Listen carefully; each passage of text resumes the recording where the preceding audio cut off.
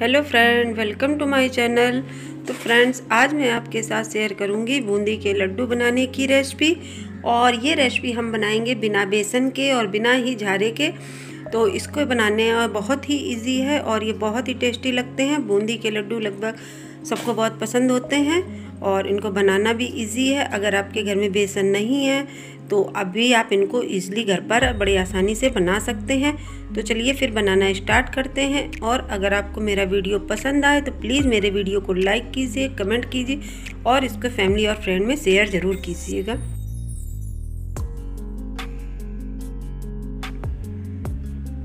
तो लड्डू बनाने के लिए यहाँ मैंने ली हुई है एक कटोरी चने की दाल और इसको हम पाँच से छः घंटे के लिए सोख कर देंगे। अगर आपके पास टाइम हो तो आप इसको पूरी रात के लिए भी सोख कर सकते हैं। तो यहाँ पर देखिए मैंने इसको सोख करके रख दिया था और मैंने इसको नाइट में सोख किया था।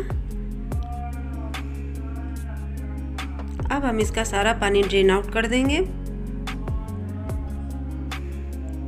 इस तरह से किसी चलनी में डाल के इसको पाँच मिनट के लिए छोड़ देंगे, जिससे कि इसका सारा पानी निकल जाएगा। और अब हम इसको करेंगे ग्राइंड।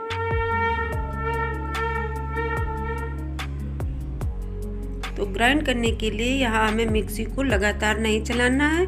हमको एक मिनट चला के फिर उसको स्टॉप करना है एक एक मिनट चलाना है, क्योंकि हम और इसको बिना पानी के ही पीसेंगे, इसमें हम पानी का यूज़ नहीं करेंगे। और ये थोड़ी सी हमें दरदरा पेस्ट चाहिए, इसका हमें एकदम से फाइन पेस्ट नहीं बनाना है। तो यहाँ पे मैंने देखिए सारी दाल अपनी पीस ली है। और हम इसको इस तरह से मिक्स कर लेंगे। इसमें हमें किसी भी चीज़ को मिक्स करने की कोई ज़रूरत नहीं है। तो यहाँ पे इधर मैंने एक कढ़ाई चढ़ा दी थी, उसमें गर्म कर लिया है तेल।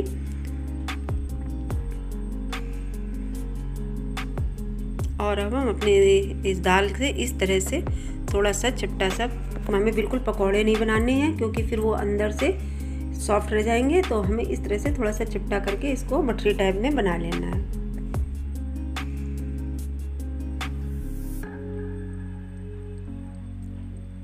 और फ्लेम को हमें बिल्कुल लो रखना है।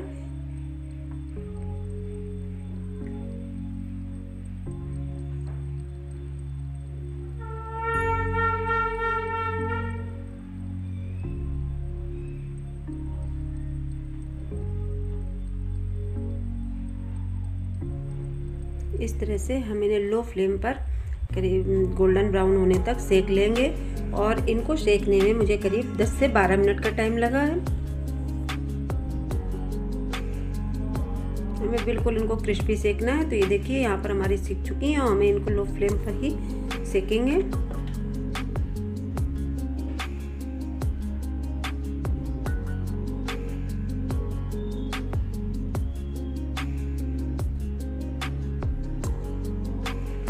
इसी तरह से हम अपनी सभी बाकी मठरियों को भी बना लेंगे।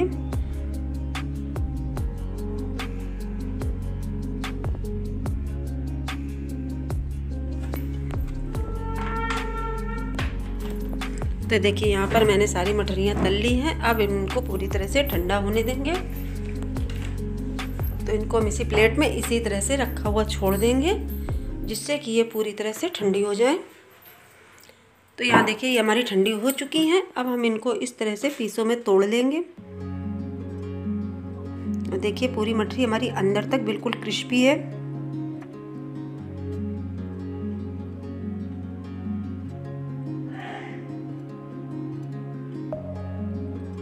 तो देखिए, यहाँ पर हमारी मठरियाँ सारी टूट चुकी हैं। अब हम इनको करेंगे ग्राइंड।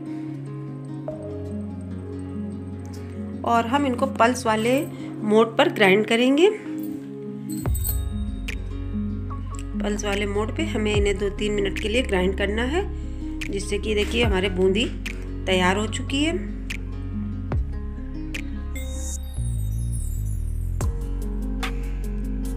अब हम इसका मेज़रमेंट करते हैं और यहाँ मैंने वही एक कटोरी को सेट कर लेंगे, उसी से हम अपना पूरा मेज़रमेंट करेंगे।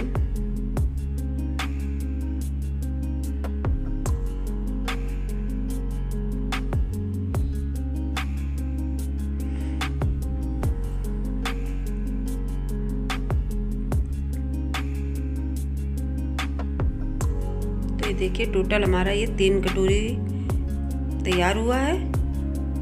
तो अब हम इसी में नापेंगे चीनी तो तीन कटोरी के लिए यहाँ मैंने एक कटोरी से थोड़ी सी ज़्यादा चीनी यूज़ की हुई है।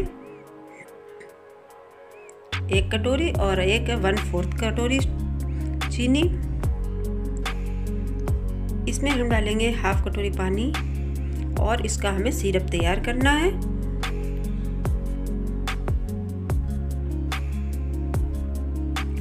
पानी हम थोड़ा सा ही डालेंगे, क्योंकि जितना पानी डालेंगे फिर हमें उसे पकाने में उतना ही टाइम लगेगा। तो यहाँ पर हम पानी का यूज़ थोड़ा सा ही करेंगे।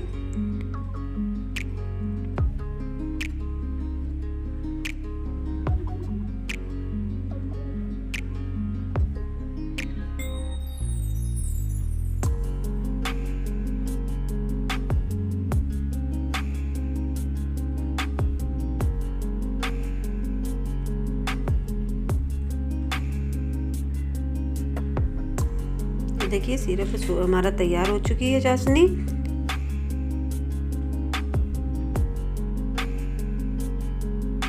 अब हम इसमें ऐड करेंगे आधा चम्मच इलायची पाउडर। इलायची पाउडर से इसका फ्लेवर बहुत अच्छा आता है और इसमें हम थोड़ा सा रेड वाला फ़ूड कलर का यूज़ कर रहे हैं जिससे कि हमारा लड्डुओं में कलर आ जाए।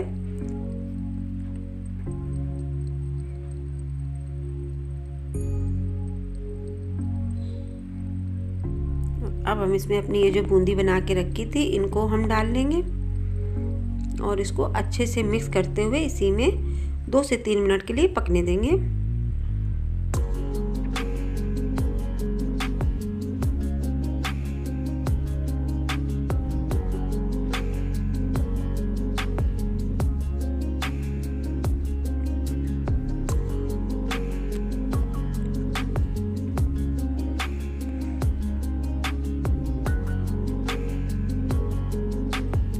कलर मुझे यहाँ थोड़ा सा कम लग रहा था तो मैंने थोड़ा सा कलर और ऐड किया है।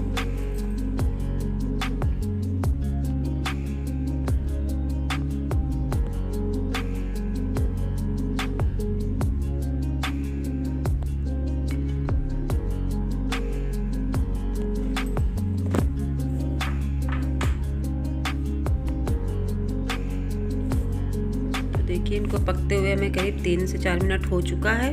अब हम फ्लेम को बंद कर देंगे और इनको ठंडा होने देंगे। उसके बाद हम इसमें ऐड करेंगे दो चम्मच करीब घी। इससे कि लड्डुओं में हमारे एक बहुत अच्छी सी शाइनिंग आएगी।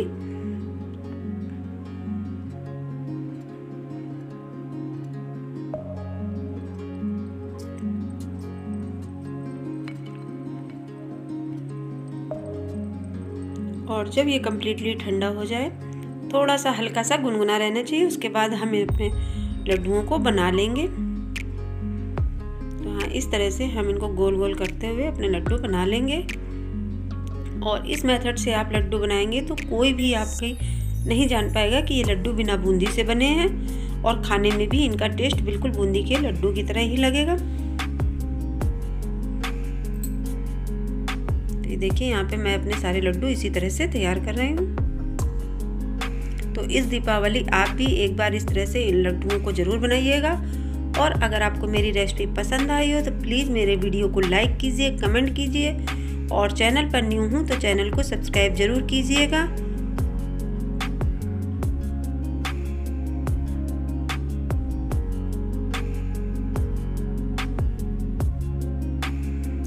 आप चाहे तो इनको चांदी के वर्क से या इस तरह से ड्राई फ्रूट से गार्निश कर सकते हैं। तो यहाँ मैं आपको एक लड्डू तोड़ के दिखाती हूँ। ये कितना सॉफ्ट बना हुआ है। ये देखिए अंदर से बिल्कुल। थैंक यू फॉर वॉचिंग तो चलिए फिर आप मिलते हैं आपसे एक नेक्स्ट वीडियो में। तब तक के लिए गुड बाय